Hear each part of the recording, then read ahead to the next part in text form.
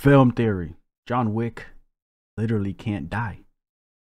Probably saying the same thing, you know what I'm saying? Let's go. This video contains spoilers for John Wick Chapter 4. At the end of Let's his go. latest movie, we see the death of John Wick. But is everyone's favorite puppy-loving assassin really dead? What say you, John? You're dead, right? Am I? No. He's alive, and I'm about to prove it. Long live John Wick.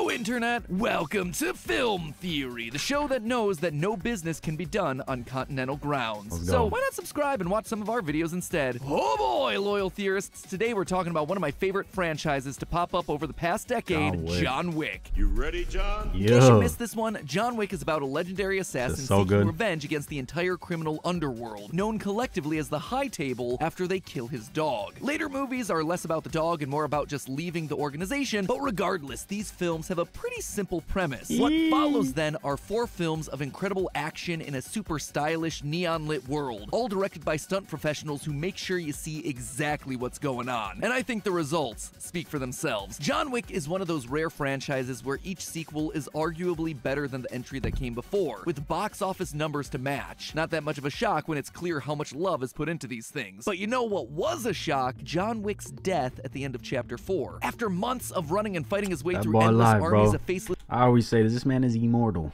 okay? Wick's death at the end of chapter Immortal. 4. After months of running and fighting his way through endless armies of faceless goons, John is forced into one final duel against his old friend Kane. In it, he's shot three times. And although he manages to survive long enough to kill the big boss and win his freedom, minutes later, he takes a seat and peacefully succumbs to his wounds. To say that literally no one saw this coming is putting things mildly. As I was walking out of my showing of the movie, I heard multiple people asking each other, he can't be dead, right? I mean, it takes a lot to surprise me in movies at this point, and even I gotta admit, this one got me. John Wick is a huge franchise. There is a hunger from fans for more of these movies, and now at the height of their success, they kill off the main character? No, I don't Nah, think bro, so. No shot, bro. No shot. They killed him off. No shot. It doesn't matter if we saw a No grave way. because John Wick isn't dead. When you actually look at this franchise and examine the type of injuries that Wick sustains throughout his quest to escape the High Table, things do not line up here. There is no way that the wounds that he takes on this final duel kill him. In fact, not Yeah. only is John Wick not dead, but after watching these movies again, I am almost 100% convinced that John Wick literally cannot die. And there's a secret reason for it. So put on your magic bulletproof suit, Go loyal theorists. We've got a death to disprove. So to do this analysis, we're going to be lumping the movies into two groups. John Wick chapters 1 through 3 and John Wick chapter 4. Why? Well, it has to do with the time frame where the movies take place. According to franchise director Chad Stahelski, the first 3 John Wick movies take place in like a week, week and a half, somewhere in there. so all this fighting, all Oh, the goons shit. he kills, all the damage that he takes across those three movies, yep, all of that's apparently happening in just under two weeks. Meanwhile, here I am weeping on the floor every That time boy I step on a. Lego. On the other hand, chapter 4 apparently takes place like six months later. Enough time that John will have had himself a chance to rest, heal, and refill his tank. Mm. Additionally, we're only going to be looking at the major injuries here. Sure, he sustains plenty of punches and falls through glass, but we're going to be focusing on the moments that stand the best chances of killing him. And it seems to me that the best starting point is actually the end, by taking a closer look at the wounds that do wind up quote unquote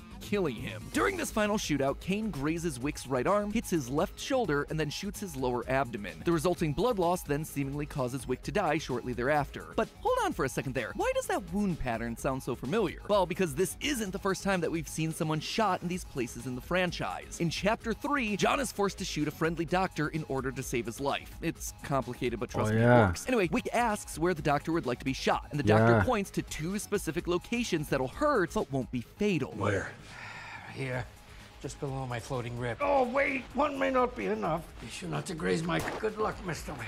The What first f- is in his lower abdomen side, and the second is through his shoulder. The exact same parts of the body where Kane hits Wick during their shootout at the end of chapter 4. And remember, the doctor chose those spots specifically because they wouldn't be outright fatal. That right there, that is highly suspicious. Not You only know? that, but John and the one on the arm ain't gonna do shit either. Come on. John also shot Kane in the same part of the abdomen, and we see him able to make a full recovery by Chapter 4's post-credit scene. So already we have ourselves two Jeez. solid points of evidence indicating that John shouldn't be dead at the end of this duel. And all of that is without saying that these guys are trained professionals. They can get a headshot in their sleep. The fact that they're only grazing each other and hitting non-essential areas, that Get a headshot in their sleep is crazy. get a That's a headshot in their sleep. The fact that they're only grazing each other and hitting non-essential areas, that right there is a dead giveaway that something else is afoot. But let's just talk for a second about blood loss. According to the National Library of Medicine, healthy adults have an average of four and a 4.5 to 5.5 liters of blood circulating through their bodies at any given time. Obviously, everyone's going to react to trauma differently, but Yeah. as a general guideline, most adults can lose up to 15% of that blood volume without any sort of physical symptom. This is known as a class 1 hemorrhage. Anything above that, though, symptoms get progressively worse. Between 15 and 40% blood loss can result in nausea, fatigue, and hallucination. It isn't until you get to 40% or more blood loss where things start to become seriously deadly. These are the class 4 hemorrhages. They're the sorts of wounds that have high risks of organ failure, coma, and death. So, how much blood does Sheesh. John lose? Well, to calculate that, we need to know how badly he was injured. According to the Internet Movie Firearms Database, the guns used in the duel appear to be a pair of engraved Thompson Center Arms Encore pistols with nickel-plated or silver-cast 44 Yo, the research that goes into these videos, bro. Magnum Yo, cartridges. How powerful is a 44 Magnum cartridge? In the words of Dirty Harry, This is a 44 Magnum, the most powerful handgun. in They the world. tough, yeah. Blow your head clean off. These should be doing some significant damage. Yeah. Emphasis on should. But now, just take a look at the wounds on John's stomach and arms. To lose 40% of his blood, John Wick would need to bleed out about 2 liters. And thanks to the white shirts, we can see how much blood he's actually losing. And it's not enough. This is merely a hmm. pint or two of blood. It's not enough to cause him to die like this. This also checks out with the statistics. According to an Annals of Surgery study, 88.3% of people who get shot in the abdomen area survive. Lastly, we've seen him survive this exact set of injuries before. In Chapter 2, John is shot twice in the right side of his abdomen while fending off one of the assassins. Though it clearly hurts John and causes him to hold his wound and stumble about, he does survive it just fine. So in John Wick's final death scene, he actually survives. But what about throughout the rest of the movie? Could his injuries have just added up? What about getting hit by a car? John is hit by several cars throughout these films, which obviously can result in a lethal injury. 9.1% of pedestrians hit by vehicles are killed. Another 21.8% are severely injured. The big X factor there is ultimately how the hit occurs and how fast the car is going. In John Wick Chapter 4, for instance, we see him hit by a car during his battle in the middle of traffic. Some Notice light. though that this fight's happening on a very specific road, the Champs-Élysées that circles around Paris's Arc de Triomphe, a massive 12-lane roundabout where the speed limit is 50 kilometers 12 lanes? Jeez. What the fuck? Bro, there's something like this in DR. Uh, it's called La Capital. I'm pretty sure the capital. And it's a big ass rotary, bro. I think it has like set six to eight lanes. This motherfucker got 12. an hour Damn. or just over 30 miles an hour. On other streets in Paris where we also see him get hit, the speed limit's lower, restricted to 30 kilometers or 18 miles per hour. But here's the thing, the odds are in John's favor with all of these cases. Only 33% of pedestrians hit by vehicles traveling 25 miles per hour are severely injured, and only 10% hit at 35 miles per hour die. These hits at those speeds, while they certainly look painful, they're likely some of the least dangerous things that we see Wick survive throughout the films. So if Yeah. cars aren't a threat and bullets aren't a threat, what about falls? Chapter 4 features an incredible top-down firefight. Bro, this man is immortal, okay? Like, n- nothing's killing this man. All right? No bullets, no cars, no falls, no, no, no. s- Bro, he, bro, come on, bro. Looking like it was Water straight out of Hotline can't. Miami. A firefight that ends with him jumping out of a fourth story window. But don't worry, there's a conveniently placed van that's gonna break his fall.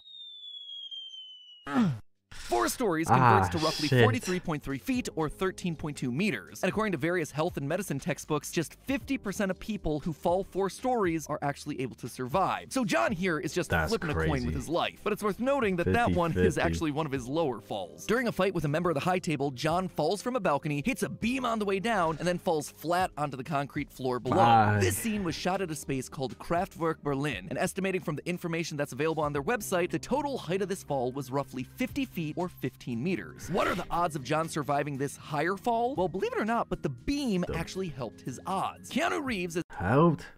Boy, he fell on his back too. That motherfucker.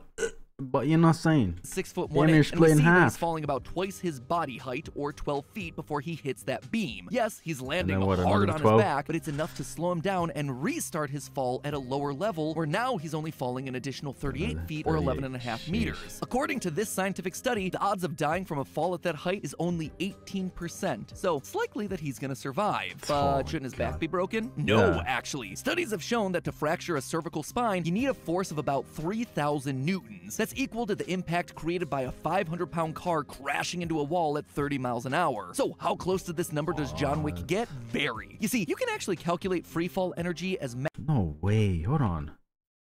to the impact created by a 500 pound car crashing into a wall at 30 miles an hour. 30 miles an hour. into a brick wall. Brick wall. No way. Three thousand newtons. No way.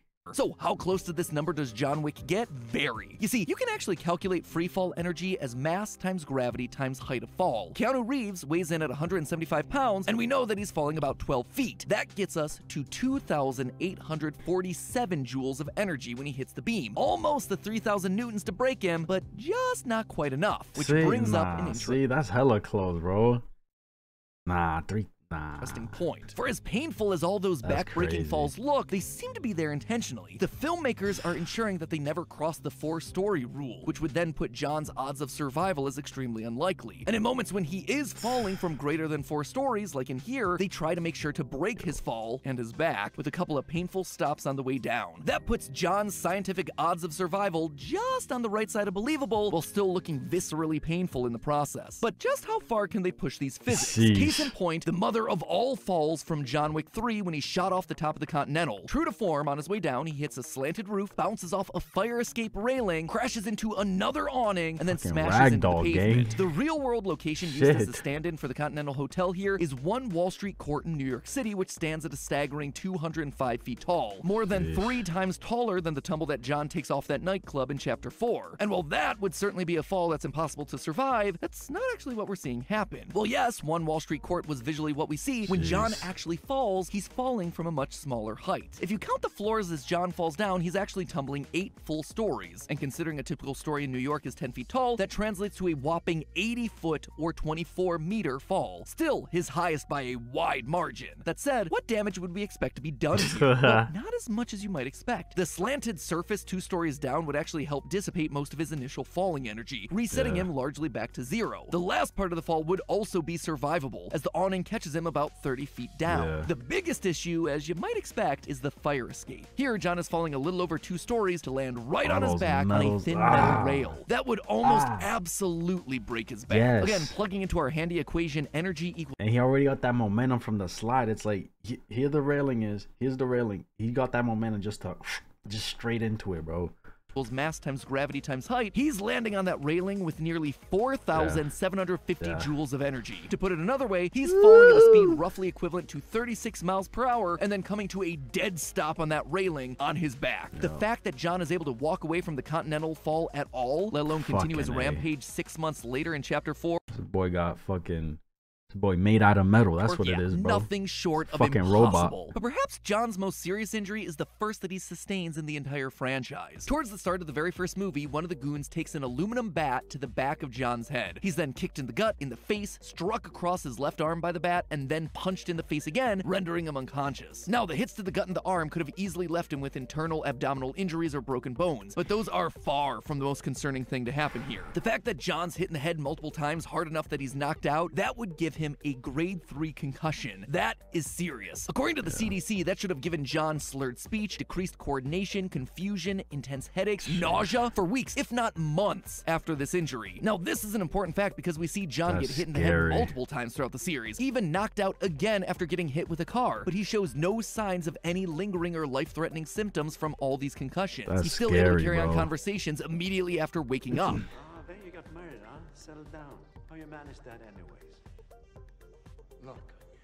In short, over the course of two weeks from chapters 1 through 3, John Wick is shot, stabbed, hit by cars, dangerously cauterizes a wound, been close enough to an explosion that he's thrown by it, and fallen a distance that breaks his back. All of these wounds are far worse than what Yes. finally quote unquote kills him at the end of Hell chapter yeah, 4. bro. It can only lead me to conclude that John Wick just isn't dead at the end of the latest movie. The name is dead, the legend of John Wick is dead, but the man, no. He's still alive and out there. But that still doesn't answer the question of how. Not how he survived chapter 4, I think we've covered that fairly well, but how he survived chapters 1 through 3. That is a brutal Facts. two weeks that should have killed him multiple times Facts. over. But you know what? I think I have an answer, loyal theorists. See, in a short that we released a few weeks ago, we proved that the blind assassin Kane has to have himself superpowers. It is the only way that he'd be able to feel what cards he's dealt during the chapter 4 poker game. And I don't think that he's the only superpowered assassin that we're seeing in these movies. John has powers too, specifically a healing factor akin to Wolverine or Deadpool. Now, that might Yo, imagine John Wick as a Marvel character, bro. Seem like a bit of a leap, but we see evidence of John's healing factor in action during the films. In chapter 1, John gets this cut on his nose, and yet it's completely gone when chapter 2 begins. This is supposed to be happening immediately afterwards, and even a superficial cut like this could take a few days to heal completely. Want a more serious wound that gets magically healed? Remember John getting shot in his abdomen twice during chapter 2? And yet, when a stab wound on his shoulder is being treated in chapter 3, we see that those gunshots on his abdomen have completely healed over. No scars, No no, scars. dressing, no stitches, no nothing. Chapter 3 takes place immediately after chapter 2, and the filmmakers cared enough about continuity that John is wearing the same shirt with the same blood stains from those gunshot wounds, and yet no actual evidence of those wounds on his body exist. All because John Wick has a super healing factor. That's why he's able to keep going and going and going throughout these films, getting up every time he's knocked down, killing every assassin that can- That boy taking something. You're not saying. gets sent his way. John Wick isn't dead because he is literally immortal. Thematically, it works real well. John and Kane agree before their final duel. Those who cling to death live. Those who cling to life die. And no one clings to death more than John Wick. Damn. It's also worth noting that the John Wick franchise was born during an era where superhero films dominated the box office. I suspect that this one might just be a sleeper superhero film. Grittier, Hell more yeah, realistic, hell but yeah. still starring someone with larger than life special abilities. And now what do we see as I record this? They're already announcing a John Wick Chapter 5. Oh, we in that bitch. Oh, we in that bitch, bro. I'm finna watch that whole the first day it drops. So, when it's revealed that John Oh, Wick has faked his death because he's a man who literally can't die, Oh, remember yeah. where you heard it first. But hey, all this work taking down the assassin sent by the high table couldn't be easy on an empty stomach. Thankfully for Mr. John Wick, it's easier than ever to make sure you get good food with our sponsor for today's episode, Factor. Factor is a meal service that's focused on getting fresh, never frozen meals delivered directly to your front door. That means if you're too busy to meal plan, That's it. Ah, yeah, bro. This man is fucking immortal, bro. Un, uh, I can't say untouched, but when I say untouched, I mean he can't die. You know what I'm saying? That's crazy, bro. The amount of shit these uh actors and actresses have to go through shooting a movie, you know what I'm saying? Like it's fucking crazy, bro. I seen the other day The Rock swimming in like a room filled with water. Like he was he was submerged in the water underneath swimming trying to get to something and I was like, "Bro, like it's crazy the shit that they got to go through, you know what I'm saying?" Ah, shout out John Wick, bro. Fucking goat. You know what I'm saying? Like everybody knows who he is. You feel me? And if you don't, get in tune. You know what I'm saying?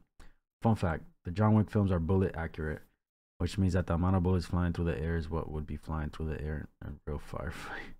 I don't think it was the injuries that killed him, but rather nothing to live for. His mission was completed. His goal were all achieved. For once, he was at peace, allowing his body to stop at. Oh shit, that's fucking deep. That's deep.